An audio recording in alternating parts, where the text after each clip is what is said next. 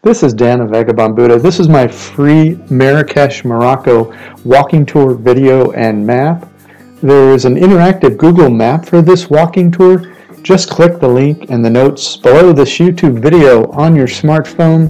At that link, you'll also find best area to stay, nightlife, facts and history, tourist scams in Marrakesh, a link to the best travel or retire cheap in paradise locations in the world, Plus, how to make money using your laptop while you travel around the world.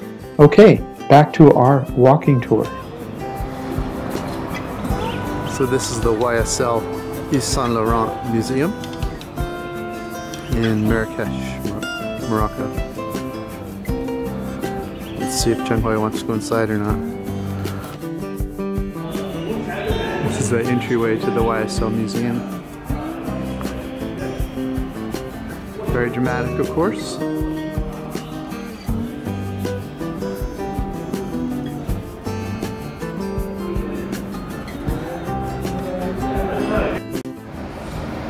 Uh, Leila Alaoui, uh, 1982 to 2016, a Franco-Moroccan photographer and video artist, died of her wounds sustained in a terrorist attack in a city I won't try to pronounce in 2016 while she was preparing a photo essay for Amnesty International. Her work, at once humanist and committed to social justice, has been published and exhibited worldwide. She is, her work's being on display here in the YSL Museum. And we're going to check it out. This is her work and uh, their portraits. As the saying goes, the work says as much about the photographer as how a person presents themselves when they know they're being photographed. And you see no smiles, very few. Very serious. Life is a serious thing.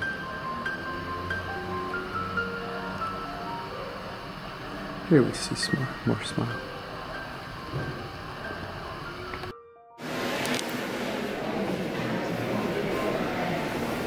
Welcome to uh, Marrakesh, Morocco. This museum we're in right now is dedicated to the life work of Yves Saint Laurent, the designer. Um, he was um, known for many things, including the rise of couture from the hippie fashions of the 60s. His goal was to make women look comfortable yet elegant at the same time. He created the female tuxedo and was the first in high fashion to use non-white models. The entry fee is 100 local money, which is about 10 euros. Open seven days a week, 10 a.m. to 4.30. You have to visit this area, which is some call New Marrakesh. The couture itself we are unable to film, so we're just showing you a lobby area. The presentation of YSL's work is spectacular. This was the only picture that I could get here. Jacques Majorelle um, was a French painter who remains most well known for this uh, villa and garden where I'm standing. He built a cubist villa behind me and celebrated garden over about a 40 year lifespan. After his death, the estate fell into disrepair and was purchased by YSL um, and restored, along with a uh, collection of uh, paintings uh, in the 1980s. Uh, YSL purchased and put on display here. YSL's ashes are scattered here. This is the Cubist villa that the, the painter built. It's all been restored by YSL. Now it's a museum. It's a very beautiful place one of the most famous tourist attractions. And there's a package you can get the YSL Museum and this uh, Cubist Villa and Gardens uh, for 180 and there's also a couple other uh, artist displays here which is about $18 per person. If you're enjoying this video or getting some value here, could you please like the video, uh, comment below, subscribe, or share on uh, social media. Any of those things would help us grow our business. Thank you so much in advance.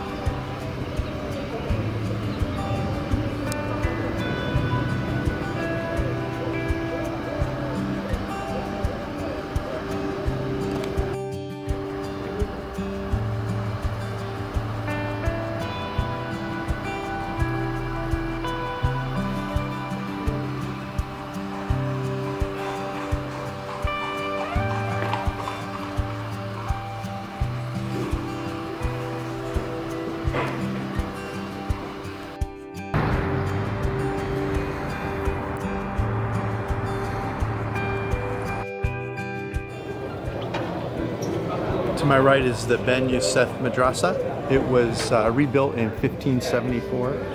The original madrasa was built uh, by Ali bin Youssef in the 12th century.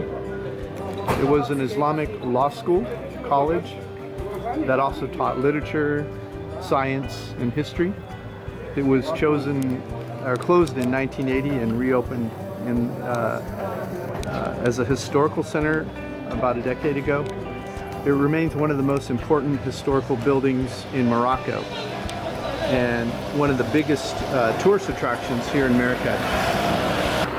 Unfortunately, the madrasa is uh, closed right now to be renovated. So as you can see, these are just posters of the inside.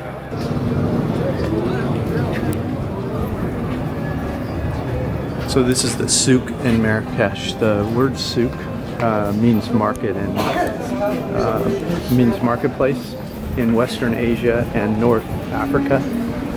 Um, the souk in Mar Marrakesh uh, covers a large area, but if you go uh, from the Ben Youssef Madrasa to Jama El Fina in each in either direction, uh, the above Google map will take you through my favorite part of uh, my favorite path through the souk. So just click the link and start walking. داك اللي بيجي في الراس جا ولا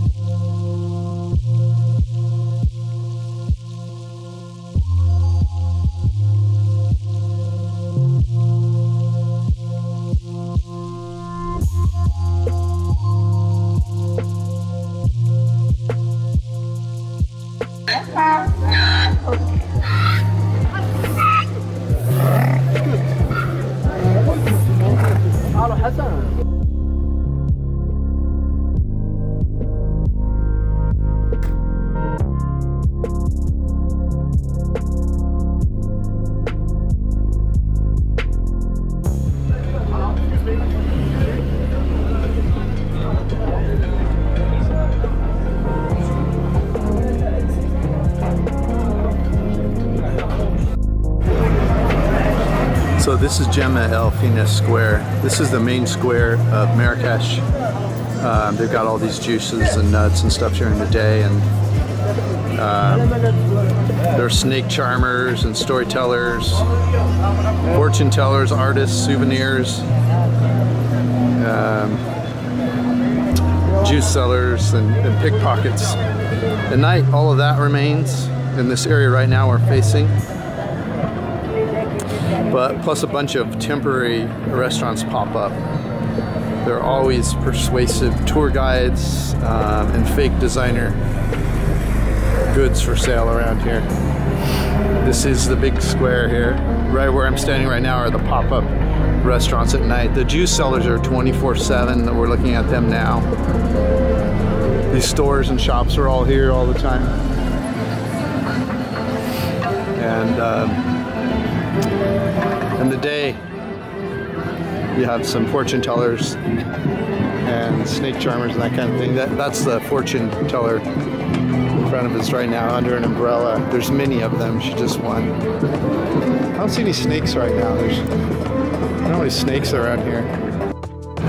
Oh, there's some snake charmers right there. See the snakes on the ground? If I get too close, they're gonna try to charge me money, so I'm not gonna do it. So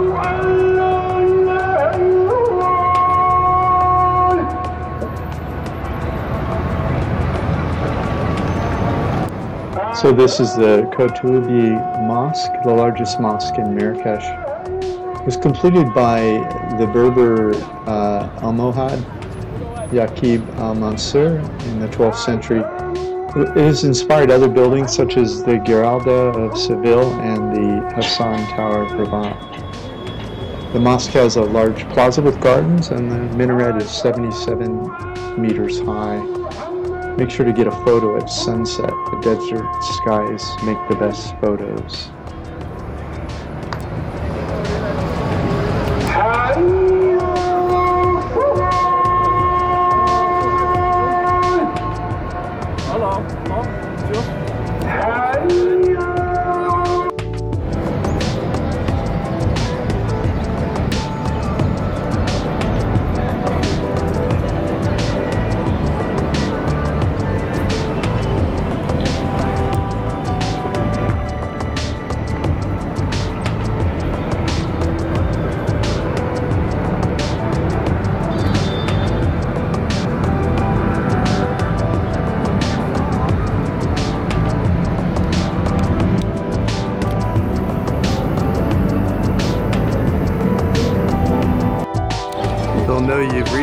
Reached tombs when you see this minaret of a mosque there and the entryway is in the back here behind the mosque.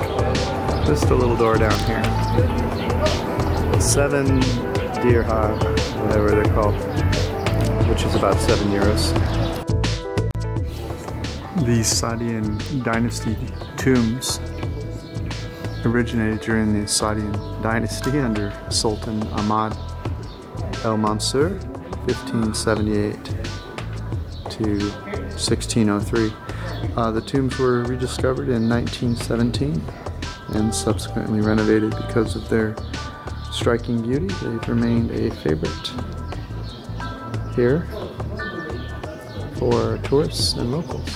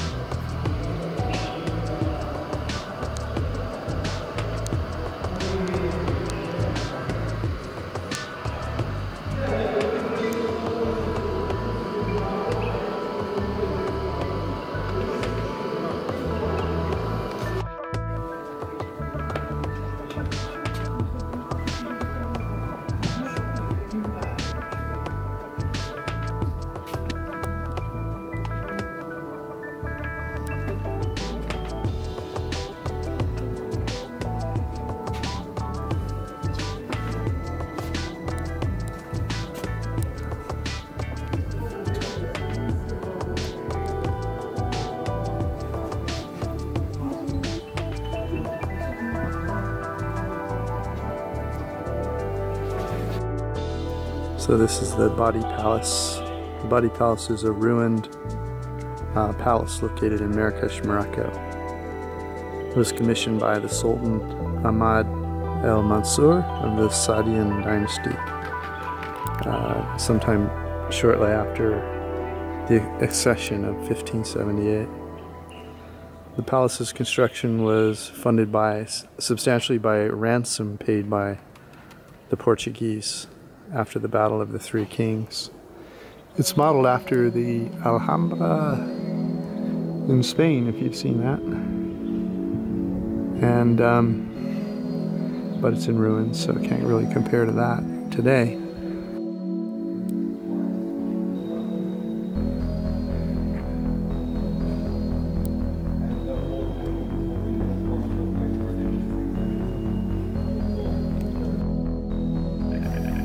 Don't know if you can hear that clicking noise, but those are birds up there. See them up there on the ledge? And that's some kind of dance, I would suspect. And they're nesting up there. Anyway, I don't know the bird. Can't help you. I'll have to look it up.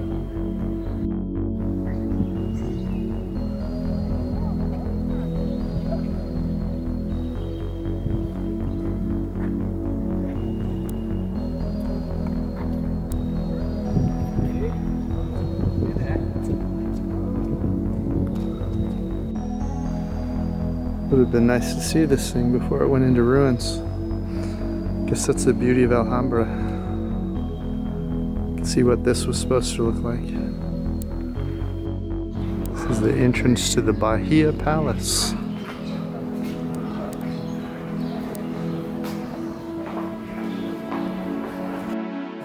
So we're inside the Bahia Palace.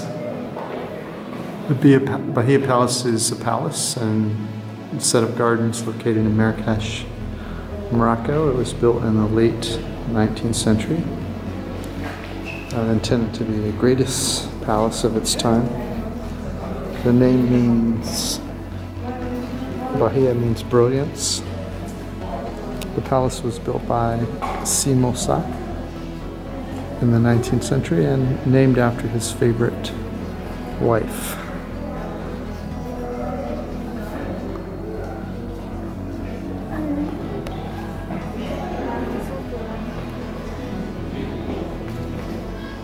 His son Ba Ahmed,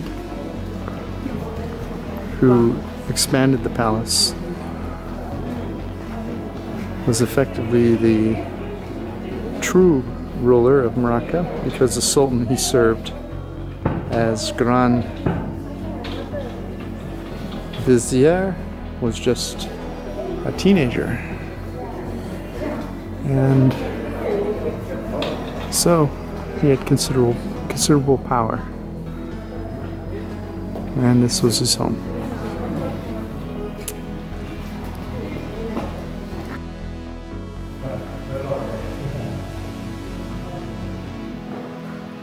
There's about 10 rooms that are this extravagant.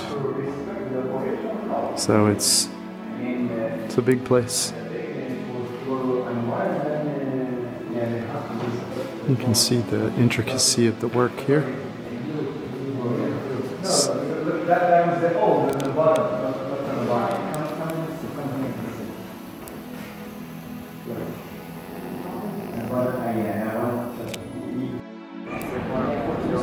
This is where he kept his concubines here.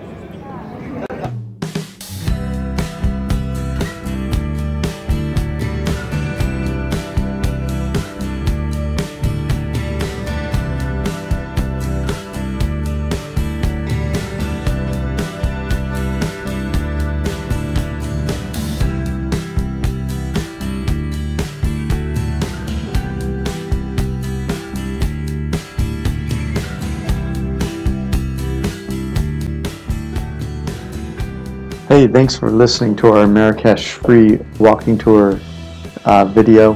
Remember there's a interactive Google Maps tour. Just click the link below this YouTube video to get started on your tour. Thanks for watching. Have a great day.